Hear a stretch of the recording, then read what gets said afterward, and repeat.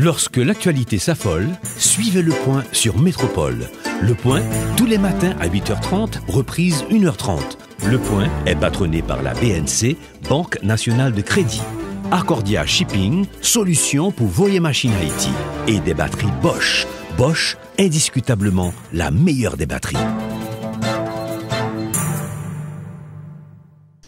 Bonjour et bonne semaine. L'élection et l'investiture de Joe Biden aux États-Unis a relancé un débat en Haïti, la place du pays face à la communauté internationale. Haïti, est-ce qu'elle négocie bien généralement son rapport avec la communauté internationale? Comment Haïti devrait se positionner face à la communauté internationale? Qu'est-ce que Haïti peut espérer, peut attendre de l'administration Biden? Ce matin, pour aborder ce sujet, nous avons avec nous l'économiste, politologue et euh, expert en Amérique latine, de l'Amérique latine, Joseph Harold Pierre, qui est avec nous. Professeur, bonjour. Bonjour euh, Garo, et merci pour euh, cette invitation. C'est toujours pour moi un plaisir de parler un petit peu d'Haïti, des relations d'Haïti avec la communauté internationale, du développement d'Haïti. Donc ce matin, c'est pour les relations d'Haïti avec la communauté internationale. Ça me fait grand plaisir. Je tiens à saluer les téléspectateurs, téléspectatrices euh, qui vont suivre ou qui suivent déjà cette émission. Tout à fait. La dernière fois que vous étiez là, c'était pour parler euh, économie. Et ce matin, nous sommes là, comme vous l'avez dit, on parle développement d'Haïti, mais dans un autre contexte, c'est dans le contexte de ses relations avec la communauté internationale. Maintenant, on va essayer d'analyser et de comprendre euh, euh, les relations entre Haïti et, ses pays amis. Mais d'abord, faisons ce coup d'œil à l'interne. Pour parler des relations d'Haïti avec la communauté nationale, il faut comprendre ce qui se passe à l'intérieur du pays. Euh, professeur Joseph Harold Pierre, quel regard vous portez aujourd'hui sur le tableau. Le tableau, c'est quoi? C'est euh, une opposition qui exige le départ d'un président, un président qui veut rester jusqu'en 2022. Bon, le débat se porte sur la Constitution, à savoir la fin de mandat 4 ans, 5 ans. On ne va peut-être pas rentrer là-dedans. Mais le tableau qui dit qu'on va vers une confrontation le 7 février. Quel regard vous portez sur ce tableau vous-même En fait, euh, là, je réponds par un mot, par une expression, tout simplement c'est euh, ce qui se passe maintenant, c'est symptomatique de l'absence d'élite en Haïti. Euh, parce que le gouvernement, euh, tout naturellement, a participé à ce que j'appelle l'érosion de l'ordre démocratique en Haïti. Mhm. Parce qu'il y a, en fait, on n'a pas pu avoir les élections. D'un côté, il y a aussi violation des droits humains de notre côté il y a ce que j'appellerais la mise en sac du système judiciaire. Donc tout cela montre que le gouvernement n'a pas répondu à, euh, euh, n'a pas assumé ses responsabilités. C'est d'un côté. Mais de notre côté, l'opposition n'est pas divisée, l'opposition est atomisée. Donc nous avons une opposition, euh, tout d'abord, acéphale. Donc c'est multicéphale, mais comme c'est multicéphale, l'opposition est devenue acéphale. Il n'y a pas de leader de l'opposition, chacun se réclame comme leader. Donc dans ce cas, il y a euh, euh, ce que j'appellerais, comme je viens de le dire, l'atomisation de l'opposition. Le gouvernement d'un côté n'assume pas ses responsabilités, d'un autre côté, l'opposition est extrêmement divisée. Dans ce cas de figure, donc, euh, ce qui va se passer, que le gouvernement parte, bon, c'est sûr et certain que le gouvernement ne va partir le 7 février, mais que le gouvernement parte avant le 7 février de 2022, cela ne va pas résoudre le problème. Parce que jusqu'à présent, il n'est clair pour personne qui pourra ou pourrait remplacer le gouvernement si, euh, euh, si Jovenel parte le, au cours de, de, de cette année. Donc, la situation, ça... Bref, ça va euh, euh, détériorer davantage le très peu de culture démocratique que nous avons en Haïti. Et ce qui m'importe le plus, c'est la construction de la culture politique en Haïti, et cela passe nécessairement à travers l'émergence d'une élite et dont le symptôme le plus clair ou la plus grande évidence, c'est la formation de partis politiques solides. Donc, nous n'avons pas de parti politique, cela signifie que nous n'avons pas d'élite, et c'est ce qui explique la situation que nous avons maintenant.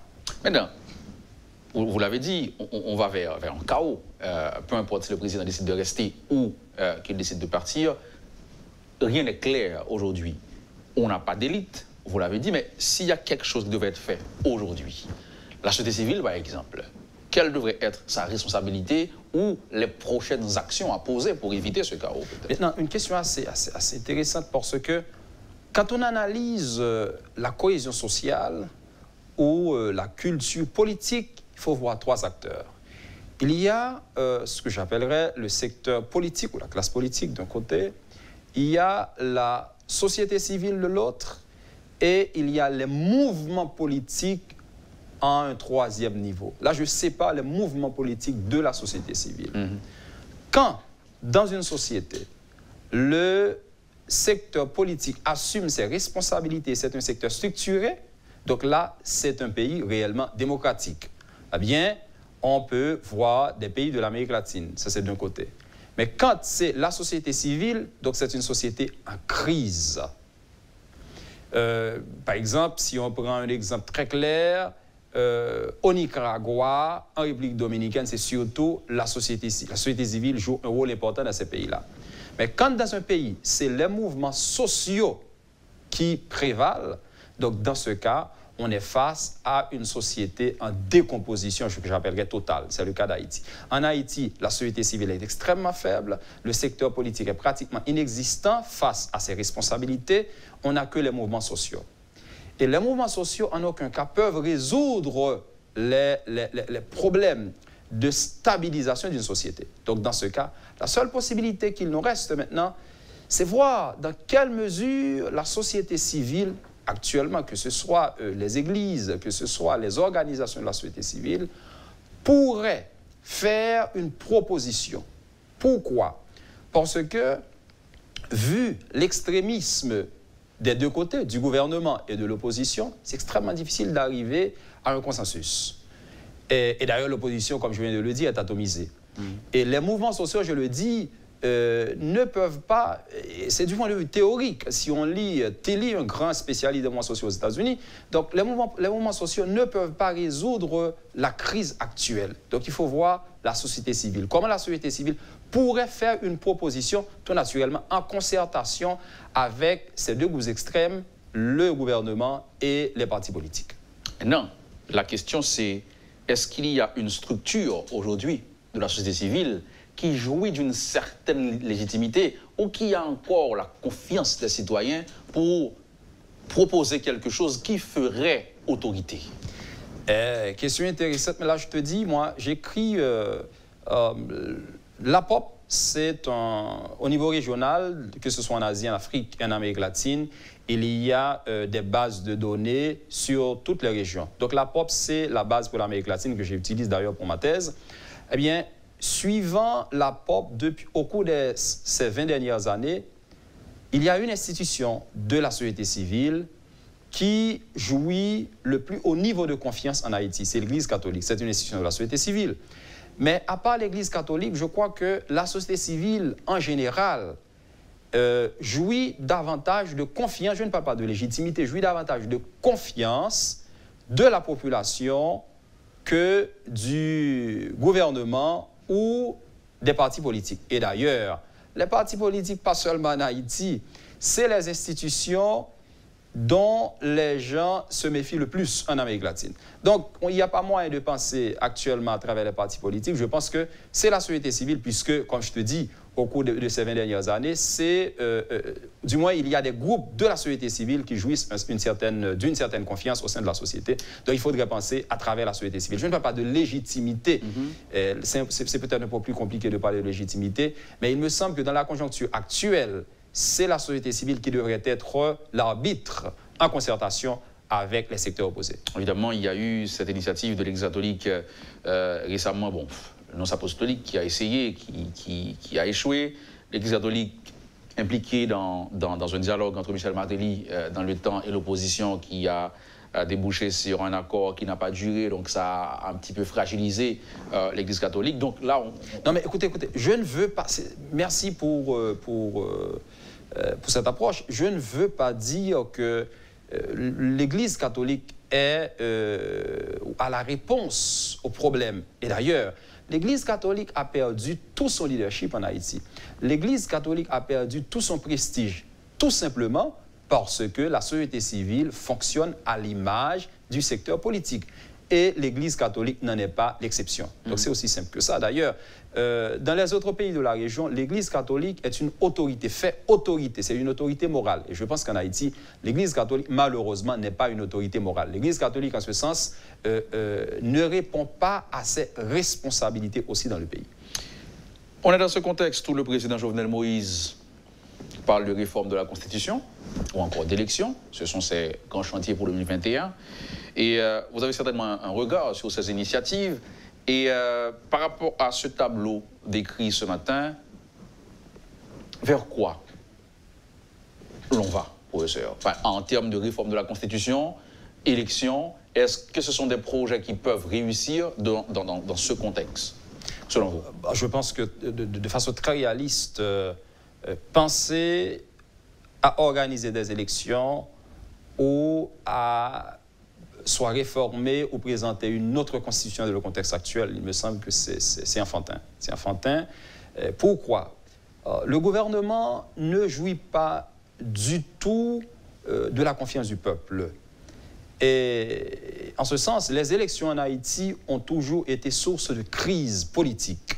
Et ça n'aide pas du tout la consolidation de la culture politique dans le pays. Donc, et je ne pense pas au cours de, de, ces 20 dernières années le, la présidence du gouvernement, de, la présidence de Jovenel Moïse est l'une qui jouit euh, le moins de confiance du peuple. Donc dans ce cas, euh, c'est le gouvernement euh, qui, en fait, le gouvernement ne se trouve pas du tout en bonne position pour organiser des élections. OK Ça, c'est d'un côté. Et de notre côté, il y a aussi le problème de légitimité. Quand termine le mandat du président Donc, il me semble que l'argument le plus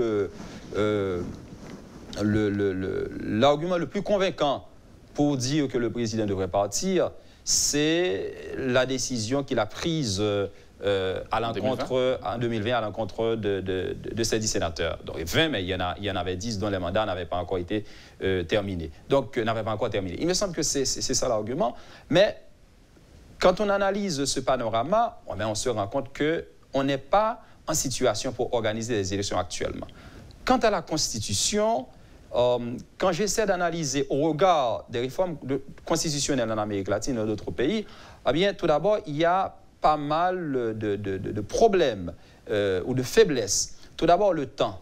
En général, on prend, on dispose de 12 à 14 mois pour réformer la Constitution. En Afrique du Sud, ça avait pris, après l'apartheid, ça avait pris deux ans. C'est un cas exceptionnel. Mais en général, c'est 12 à 14 mois. En Haïti, ça va prendre 6-7 mois. Donc, c'est déjà un problème. Deuxièmement, il n'y a pas eu de débat autour de euh, la Constitution. Et ensuite, euh, le CEP qui devrait euh, organiser le référendum, eh bien, n'est pas légitime. Donc, c'est-à-dire, on a une situation réellement critique. Donc, on n'est pas en situation pour organiser des élections et ensuite pour réformer la Constitution. Mais maintenant, mon approche euh,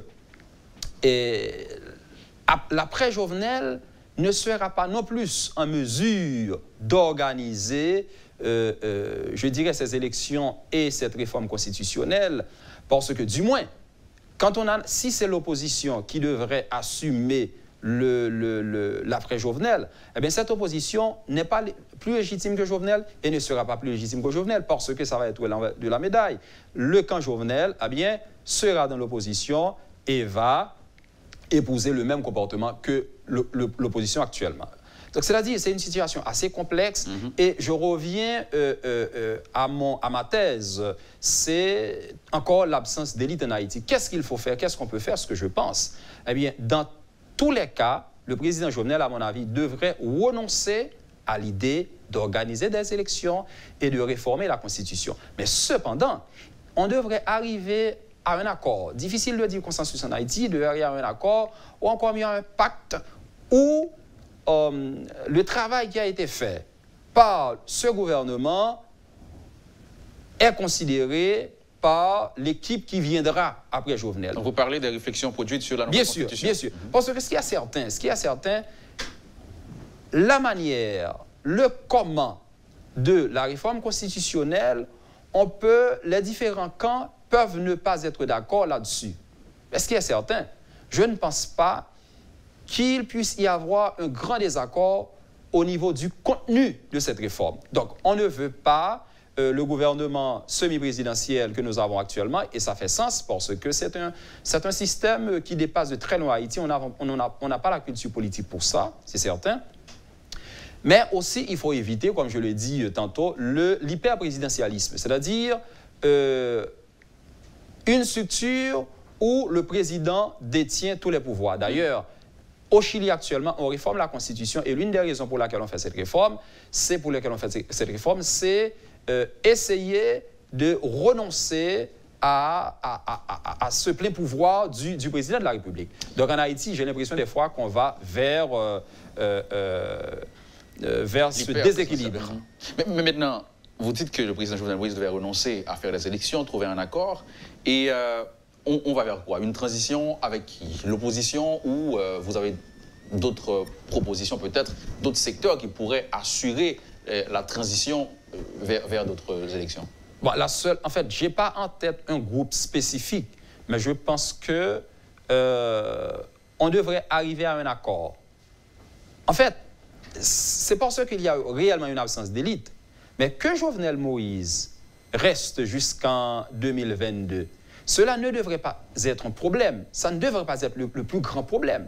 Parce que, est-ce que, la question des fois qu'il faut se poser, est-ce qu'on veut faire partie Jovenel Moïse pour des raisons d'État, pour le bien du pays, ou on veut faire partie Jovenel Moïse justement pour se venger? Ça, c'est la question fondamentale. Donc, faire partie Jovenel Moïse ne devrait pas être euh, la question fondamentale. Mais, on sait que comme on n'a pas d'élite en Haïti, parce qu'arrivé à cet accord, en République dominicaine en 1994, je pense qu'il y a eu un problème beaucoup plus grave.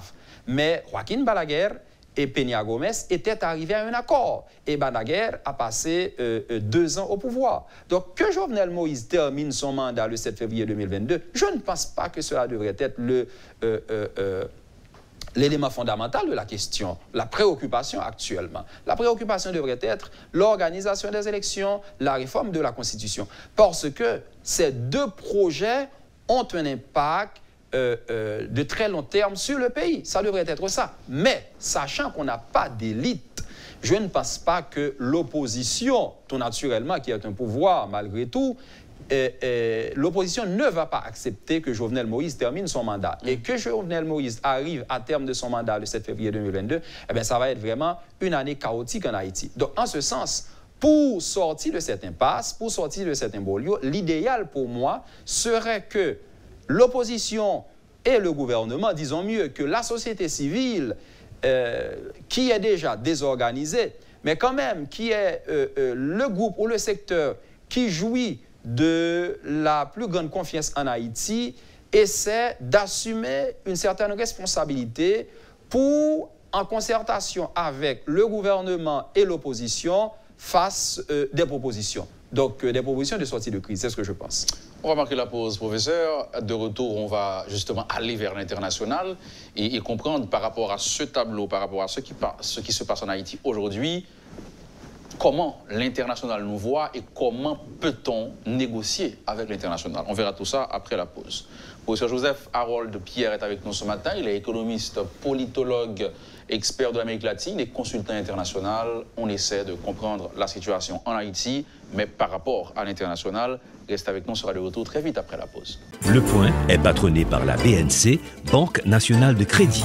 Accordia Shipping, solution pour voyer machines Haïti. Et des batteries Bosch. Bosch, indiscutablement la meilleure des batteries. Merci d'être avec nous. Ce matin, nous recevons le professeur Joseph Harold Pierre, politologue, économiste, expert de l'Amérique latine et consultant international. On essaie de comprendre la relation d'Haïti et la communauté internationale. Mais on a fait ce regard et, euh, sur la situation de notre pays pour arriver euh, euh, à sa position face à l'international. La question qui va servir de transition, professeur, est-ce qu'on s'éloigne de la démocratie, selon vous, en Haïti aujourd'hui? En fait, je pense que... Je dirais que la question est rhétorique parce que je pense que vous avez la réponse c'est très clair euh, que la démocratie en Haïti s'érode, s'affaiblit. Euh, d'ailleurs, au-delà même des, grandes théories de la démocratie, que ce soit euh, approche culturelle, approche économique euh, ou approche de la société civile. Euh, donc je peux seulement faire référence aux différents points, aux trois points utilisés par l'OEA dans sa charte démocratique interaméricaine pour suspendre un pays, pour qu'un pays soit suspendu euh, euh, de l'OEA ah ben, Il y a trois points. Il y a tout d'abord euh, exiger le renversement d'un gouvernement. Donc en Haïti, on n'a pas de renversement gouvernemental. En général, c'est à travers un coup d'État, donc classique, comme nous avons eu en 91. On n'en a pas ça. Mais il y a un autre point, c'est l'interruption de l'ordre démocratique. En Haïti, on a eu l'interruption de l'ordre démocratique parce que quand le président à, euh, euh, euh, à stopper le mandat des sénateurs, eh c'est l'interruption de l'ordre démocratique. Quand il y a une certaine mise en sac du pouvoir judiciaire, c'est l'interruption de l'ordre démocratique. Mais il y a aussi autre chose. Il y a ce qu'on appelle l'érosion de l'ordre démocratique. L'érosion de l'ordre démocratique, le troisième point, c'est quand on parle de violation des droits humains. Eh bien, en Haïti, on assiste réellement à... les droits humains sont violés en Haïti. Donc, dans ce cas, on s'éloigne, pour répondre à la question de façon directe, on s'éloigne de la démocratie en Haïti. Eh bien, on affaiblit chaque jour davantage la culture démocratique en Haïti. Donc, et, ça fait très mal parce que euh, la tendance actuellement en Haïti, ce qui est très dur, c'est que on a toujours, maintenant, on pense que un président ne doit pas terminer son mandat. Donc, l'idéal, c'est que, eh bien, que le président passe 5 ans ou que le président passe 4 ans, peu importe, il doit y avoir une transition parce qu'il y a un groupe considérable euh, à qui il lui est difficile d'accéder au pouvoir, eux, la transition fait son affaire. Cependant, quand je dis la transition fait son affaire, ce n'est pas seulement le, groupe actuel dans l'opposition, mais quand ce gouvernement, quand le PHTK n'est pas au pouvoir, je pense que le PHTK va, va épouser le même comportement, pour la simple bonne raison que nous n'avons pas d'élite politique qui oriente les choses en Haïti. Maintenant, comment un pays qui s'éloigne de la démocratie peut-il se positionner face à l'international? Encore doit-il, devrait-il se positionner face à l'international? Ah ben la question, euh, la réponse est simple. Comme on n'est pas acteur, il n'y a pas moyen de jouer euh, dans le jeu. Donc c'est extrêmement difficile pour Haïti de se positionner par rapport à l'international, tout simplement parce que euh, on n'est pas constitué au niveau interne. donc, c'est tout simplement ça.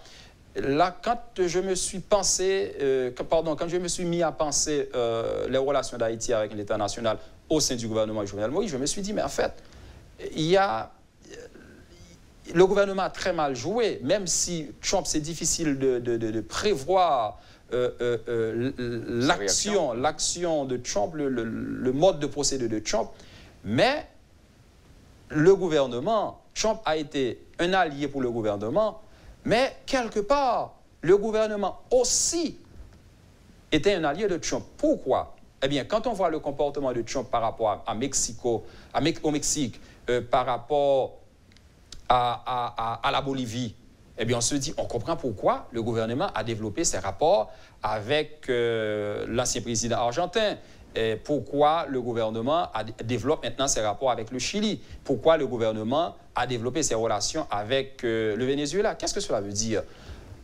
Jovenel, qui, dont le gouvernement s'apparente à un gouvernement de droite, c'est pas clairement défini, donc pouvait bénéficier, pouvait tirer certains bénéfices de, Donald Trump. Mais ça n'a pas été le cas. D'ailleurs, ça a été tout à fait le contraire.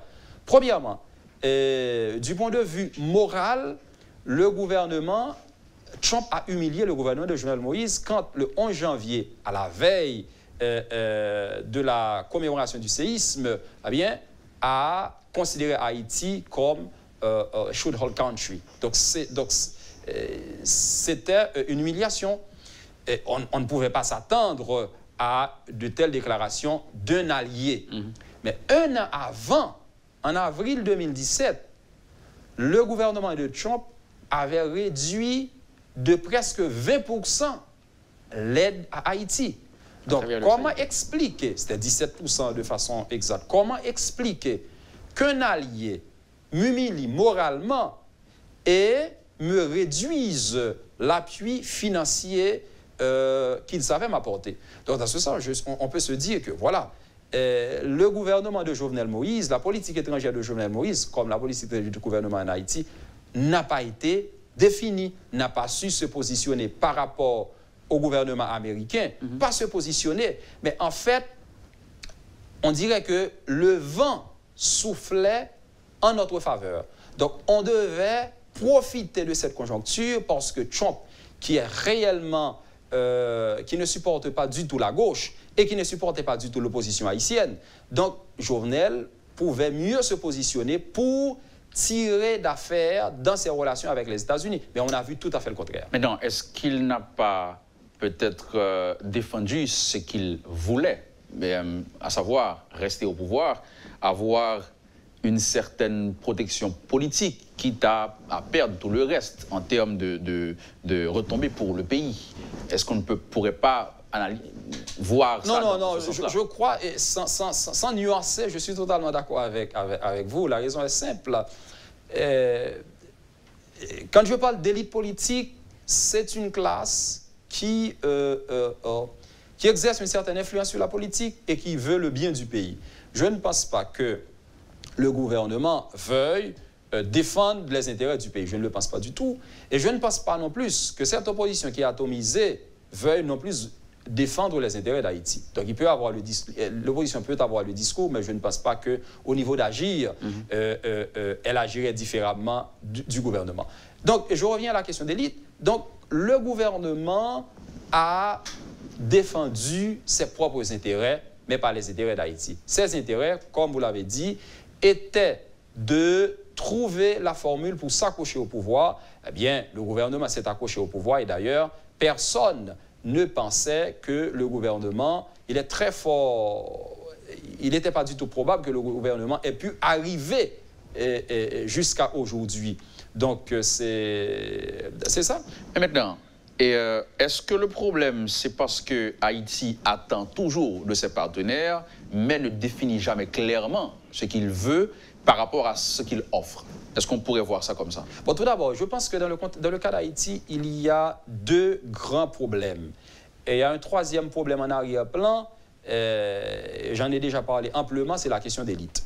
Mais à part ça, il y a deux grands problèmes. Tout d'abord, je ne crois pas que l'État haïtien ou les gouvernements en particulier euh, ont fait appel aux experts qui comprennent les relations internationales pour les aider à mieux comprendre ces relations.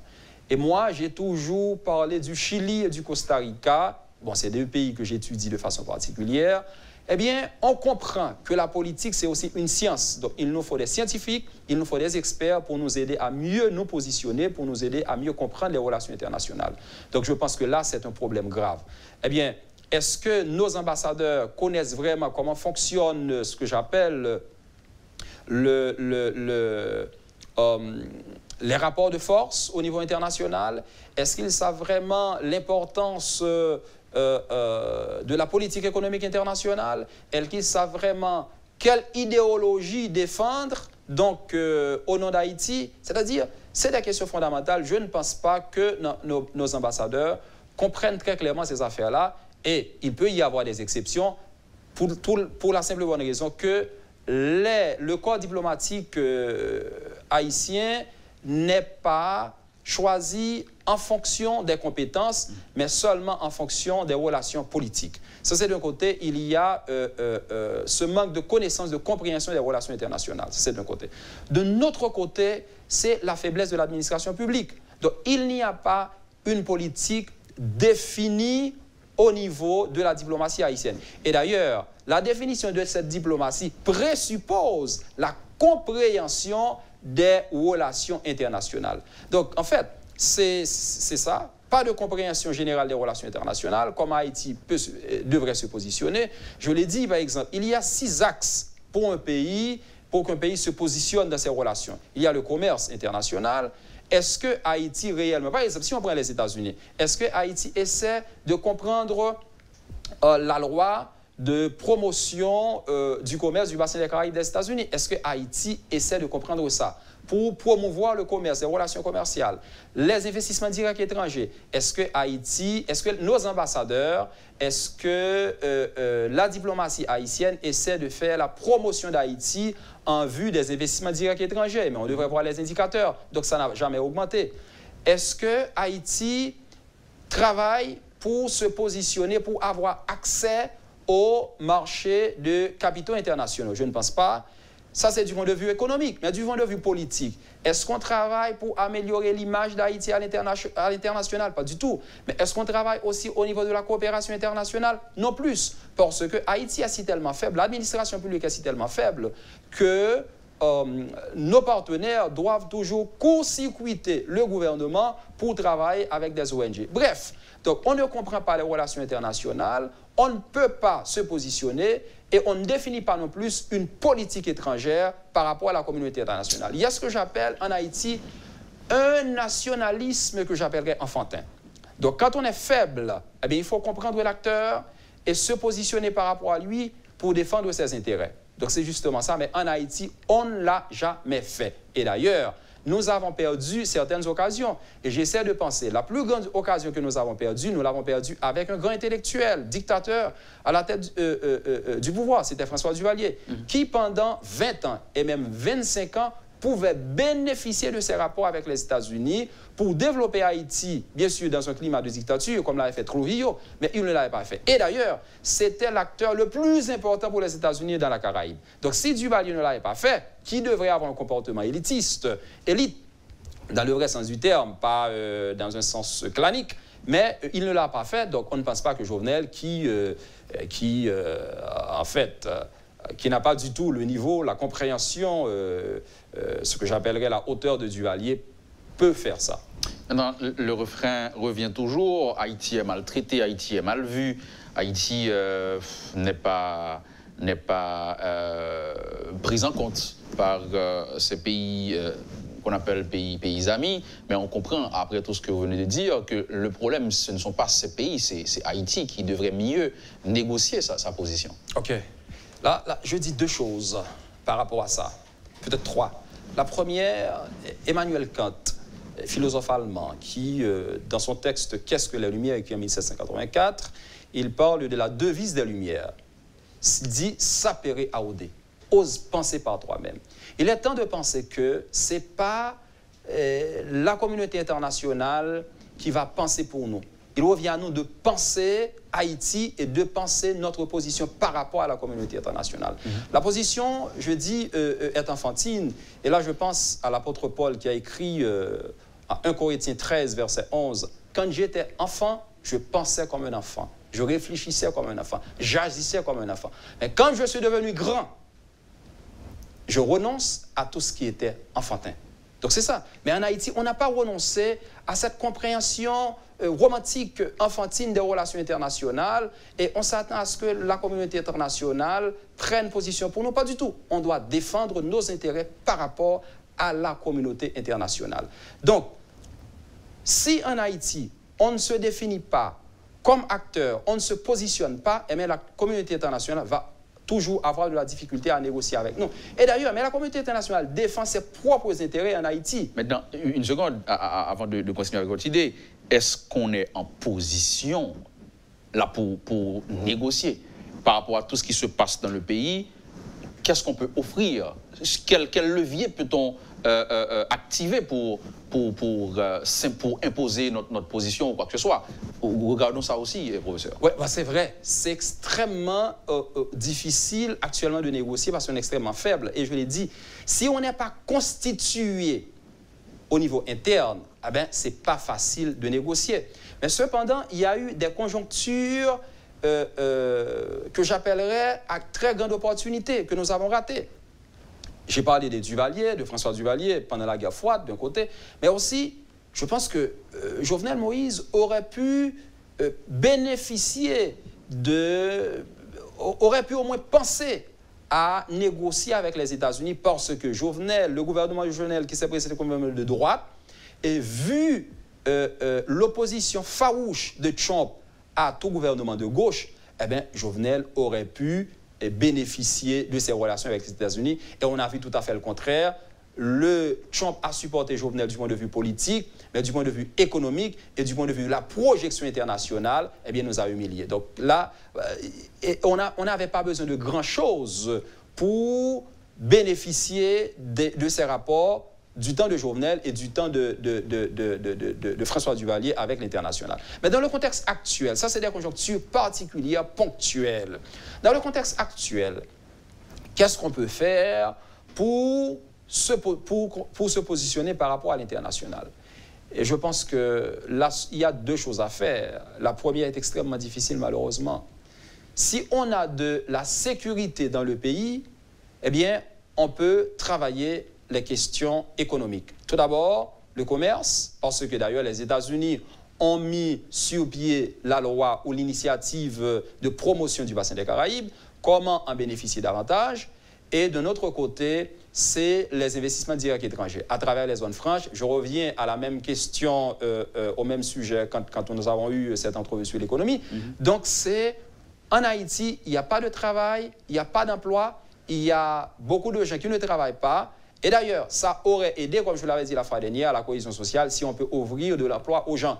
Eh bien, comment, à travers l'international, faire venir des, euh, euh, euh, des zones franches s'implanter en Haïti Pour cela, nous avons besoin d'une diplomatie qui est bien pensée et qui comprend les relations internationales, position de laquelle on s'éloigne de plus en plus. Bien sûr, à l'interne, il faut de, la stabilité et, de la sécurité.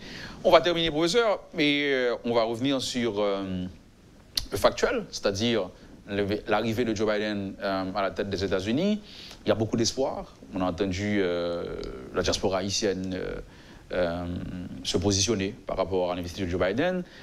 Haïti aussi espère que ça va être différent. Par exemple, l'opposition haïtienne qui pense que le départ de Trump et l'arrivée de Joe Biden va peut-être fragiliser Jovenel Moïse.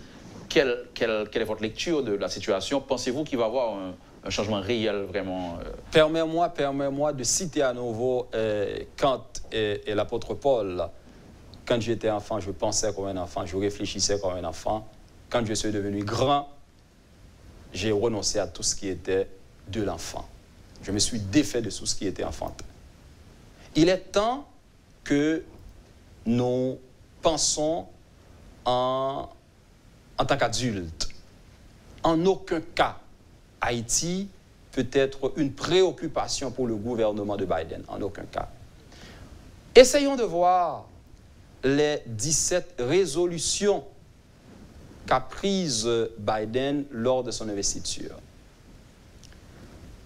Toutes ces euh, résolutions sont liées, bien sûr, à la dimension morale, mais c'est pour replacer les États-Unis euh, comme leader mondial. C'est le retour à, l'accord de Paris, mhm. c'est le retour à l'OMC, c'est des positions en faveur des migrants. Ah ben c'est justement ça. Donc il y a beaucoup à faire et, tu as, et, aussi euh, les relations par rapport à la Chine, il y a beaucoup à faire. Biden a beaucoup à faire pour repositionner, tu vois le mot, mhm. repositionner les États-Unis à l'échelle internationale. Si Haïti ne peut en aucun cas aider les États-Unis à se repositionner par rapport à l'international, expliquez-moi les raisons qui feraient que Biden pense aux problèmes haïtiens. Donc c'est justement ça. Les États-Unis doivent penser sa situation interne et aussi ses relations avec l'international. C'est un leader mondial. Donc, il doit se défaire de tout ce qu'a fait Trump pour repositionner le pays. Donc, un pays qui va s'ouvrir au monde. Donc, Haïti, ne peut pas aider. Haïti ne peut pas aider à ne peut pas aider les États-Unis à se repositionner. Pourquoi? D'ailleurs, il faut voir ces trois dimensions. La dimension militaire. Est-ce que Haïti, c'est une menace militaire pour les États-Unis? Non. Est-ce que Haïti, est-ce que les États-Unis ont besoin de développer de rapports commerciaux importants avec Haïti? Non. Est-ce que le problème d'Haïti pose un problème moral aux États-Unis? Quelque part, oui. Mais il y a d'autres problèmes moraux beaucoup plus importants pour les États-Unis parce que la sortie des États-Unis ou l'éviction des États-Unis des accords internationaux comme l'accord de Paris, des organisations internationales comme l'OMC, c'est beaucoup plus important pour Donald Trump, pour Biden que Haïti. Donc c'est justement ça. Il, revient à Haïti de penser ses problèmes et de voir comment, après s'être constitué comme acteur, on peut prendre position par rapport aux États-Unis. Et j'ai déjà donné deux champs. C'est le commerce d'un côté et les investissements directs étrangers de l'autre. Et, et, à partir de ça, on pourra facilement négocier la coopération internationale. Tout d'abord, la question fondamentale passe par la constitution d'Haïti au niveau interne mhm. comme acteur. Et cela requiert un élément fondamental qu'il nous est difficile de créer, c'est les élites. Il faut cesser de rêver et d'espérer à tort. Professeur, merci d'avoir été avec nous ce matin. Merci Luc ça fait plaisir, c'est toujours bon un plaisir de penser Haïti, d'aider à comprendre Haïti et surtout d'aider à placer Haïti dans le contexte latino-américain et d'aider à faire comprendre que Haïti doit développer des rapports non seulement avec le Grand Nord, les États-Unis, le Canada, le Royaume-Uni, la France, mais aussi avec le Grand Sud, le Chili, euh, euh, surtout le Brésil et d'autres pays de l'Amérique latine. Je ne parle pas de l'Asie. Pourquoi? Parce que l'Asie peut en quelque sorte signifier la Chine. Vous voyez? Donc, il faut être très réaliste. Je ne parle pas, même s'il y a de l'éthique ou des qui c'est important, mhm. mais il faut penser nos rapports. Bon, Taïwan, c'est encore du bon rapport, bon rapport avec les États-Unis. Au niveau asiatique, c'est voir, même au niveau de l'Amérique latine, voir comment les États-Unis développent des relations avec ces pays-là et dans le sillage de ces rapports, exactement s'aligner. C'est justement ça. Il faut penser intérêt, les intérêts d'Haïti, pas infantilisme. Il est politologue, économiste, euh, expert de l'Amérique latine et consultant international. Il est avec nous ce matin pour euh, apporter sa compréhension euh, des relations entre Haïti et la communauté internationale, mais aussi comprendre ce qui se passe à l'intérieur du pays qui puisse impacter justement la relation d'Haïti avec d'autres pays. Merci à vous d'avoir été avec nous. Excellente semaine, bonne journée. Mon nom est Luc Nergaro et à bientôt. Lorsque l'actualité s'affole, suivez le point sur Métropole. Le point, tous les matins à 8h30, reprise 1h30. Le point est patronné par la BNC, Banque nationale de crédit. Accordia Shipping, solution pour voyer machines Haïti. Et des batteries Bosch. Bosch, indiscutablement la meilleure des batteries.